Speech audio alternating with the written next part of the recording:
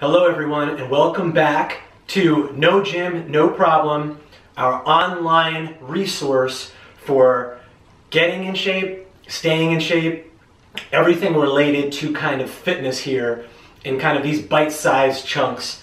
And I think what's most important about all these different tips and workouts that we give is trying to um, reconstruct what people's um, thought processes or beliefs are about what it actually takes to get in shape and what it actually takes to stay in shape because they're two so totally different animals.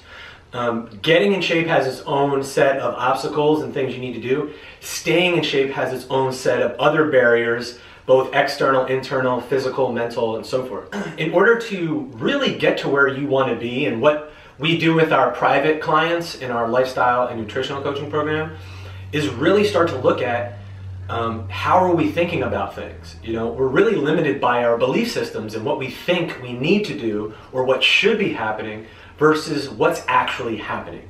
So, in today's tip, what I really want to talk about is what's normal. Okay, so when it comes to food and when it comes to movement, our ideas of normal are totally skewed. Um, they're not what your parents' idea of norms were, or their parents, or the parents before them. It's gradually changed over the years, especially in the last 50 years. It's really changed.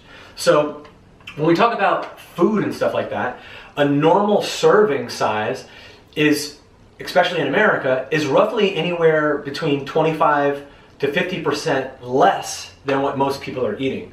Now, again, this is averages, right? So the average person can eat anywhere, like if you go to a restaurant or if you go to a fast food joint or, you know, really anywhere that's not being cooked at home, you can easily consume anywhere from 1,500 to 3,000 calories uh, in one sitting and not have a whole lot of nutrients behind that. So one of the big things we have to do is kind of find a way to get that more in balance. It's not so much how many calories are you eating, it's how much nutrients are you getting in. Because if you're not getting any nutrients behind those calories, obviously, you're not getting, uh, you're not going to be able to get healthier. And this process is really about getting to a baseline of health. And then usually as a byproduct, we tend to lose weight or get into a fitter shape.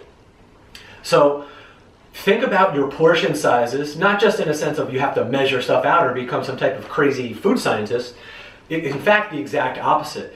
What you want to start to notice is how much am I having of something? How much do I really need of something? And does this food, is this a whole food? Or is this highly processed and actually lacking nutrients behind it? So if you see stuff like it's fortified by this, or we substituted for this, or we went back and we added some more stuff along the way to make this food better for you to eat, um, those are some red flags. But if it's stuff like, you know, things like for example, a piece of fish or a piece of steak or a piece of chicken or broccoli or potatoes or rice or these are foods that are whole foods. There's not a ton of ingredients. Usually there's only one, but there's nutrients in them in their regular normal state or as normal as we can get nowadays. So that's what we're really looking for. And when you start eating whole foods, you don't need as much food in order to fulfill some of these nutritional um, deficiencies that a lot of people have and to just feel satisfied and full. Because you can go to, everybody's been here, you can go to a buffet of some sort, Chinese buffet, whatever, and cram a ton of food only to be kind of hungry or even starving an hour or even less um, right after that, that meal. So you're not really feeding yourself. And the irony is, people that are kind of overweight, or if you're having, uh, if you're struggling to lose weight, um, you're actually, even though you might be eating a lot of food, your body might actually be hungry um, in terms of are you getting actual nutrients in. So I'll give you an example. In some days, I'll only eat one time, or some days I don't even need to eat um, as much as you would think, or as much as I even used to a couple of years ago, because I just have a much better understanding of what does my body need at the time, um, depending on how how physically active I am that day, and you know if I'm stressed out or all these other different factors. How did I sleep the night before, um, et cetera, et cetera, et cetera. So there's a lot of stuff that go into play here. When you get more towards the scale of, oh, this has a lot of nutrients in it occurring naturally, then you can start to really understand how much do I need, and now you can create a new normal for, say, a portion of food or whatever it might be. When it comes to exercise, we've kind of fallen into this weird trend, um, especially with stuff like high intensity intervals and boot camps and the whole CrossFit and the whole kind of do less to get more. Now, that is true, but not in the way we have come to know it today, and especially with all the marketing and stuff out there. You, the normal thing for your body to do, from just a health standpoint, not a society or anything else, is you should be moving every single day in some way, shape, or form. Now, that doesn't mean you're doing crazy barbell, whatever, um, but it does mean you're getting your body moving. It could be something as simple as a five to 10 minute walk, or it could be something as invigorating as a full 60 minute strength training workout or boot camp style class or whatever it might be. But you have to learn how to cultivate movement as a daily practice because we're designed to do it. It's, it, it will reach, um, it will help you reach your optimal health because that's what we're designed to do. We're not really designed for, okay, I'm gonna work out as hard as I can for one hour, sit on my butt for 48 hours, and then do something similar to that again it's kind of a band-aid approach to a broken bone. You can make progress there, it can be effective, but over my 11 years of doing this stuff, I see kind of one or two things happening. Either people burn out and get injured because of this super high intensity, low, super high intensity, low. Um, your body kind of you're, you're, you're switching gears too hard. It's like if you were in a stick shift car and you just start jacking on and cranking on the clutch and stuff like that you can get away with it, but it's not the most optimal thing for that device or that machine. And in this case, your body is not optimal either. Um, so you either get injured or you burn out because it's just hard and it's not fun. Or what happens is you just kind of can't maintain it. You, it's just, you either feel like, oh man, today I just don't have the energy to give what I need to for that day, so you just kind of scrap the workout altogether. Um, or you just kind of beat yourself up and go, man, I suck because I only have to do this two or three times per week or whatever, and for whatever reason I just don't feel like it or I can't do it. So I must be weak or I must not have willpower or I must, I must just suck in some way.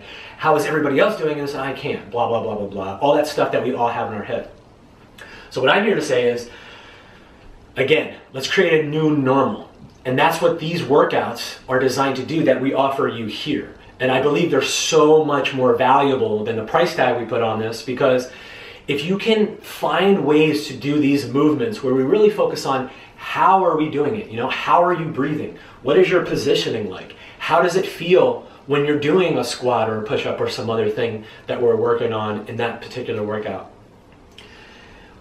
Small dosages consistently over time far outweigh these kind of heroic efforts that happen sporadically. Um, and this is where the idea of consistency really comes in. Um, one of my most consistent clients of all time, um, his name is Art, he's in my private coaching group. What we do when we work out is we try to find just what's the bare minimum we can do. Because, especially as we all start to age, especially if you have some issues bad knee, bad shoulder, this, that, or the other thing, and whatever else is going on in your life, sometimes you can't just muster up a 9 out of 10 intensity level workout. So, what you actually want to do, and this has been shown in study after study, I've seen it anecdotally with myself and my clients.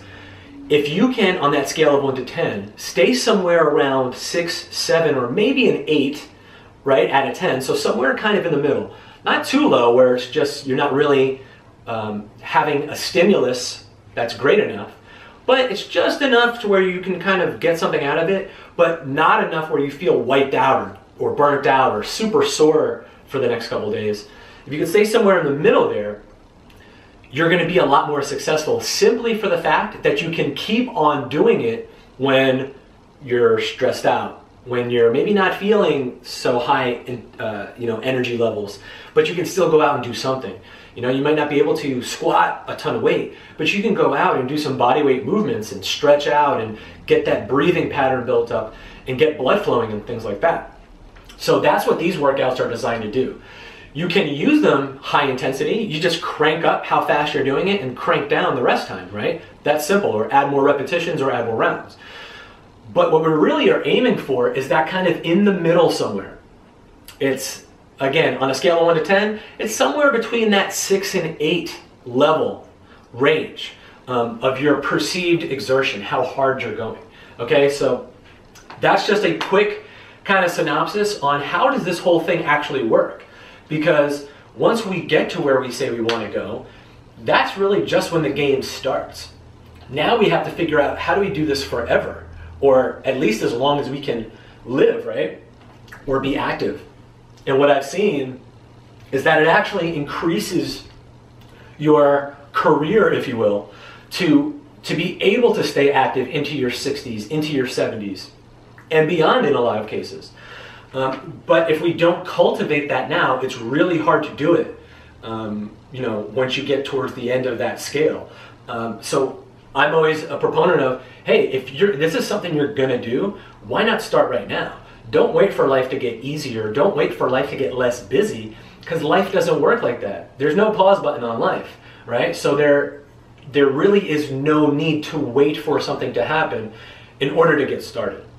So there you go. We're creating a new normal, and I hope that you're getting a lot out of these videos, and I hope you're getting a lot out of these coaching tips.